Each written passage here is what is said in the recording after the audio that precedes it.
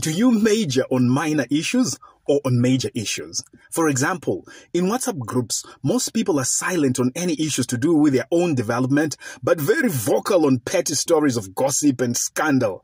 This is majoring on minor issues. Focus on your development. Hold yourself accountable. Major on major issues.